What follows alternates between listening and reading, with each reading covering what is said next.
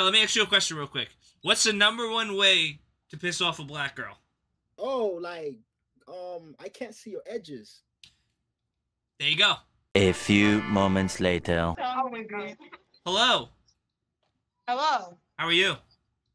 I'm doing Why good. your forehead so big? Why is my forehead so big? Why are her edges all fucked up? Her edges are Okay. not fucked up. Who are you talking about, bro? You look like Whoa, whoa, googly? wait, hold on, hold on, hold on, hold on, cause, cause, cause, cause, cause, hold on, I didn't do my edges yet.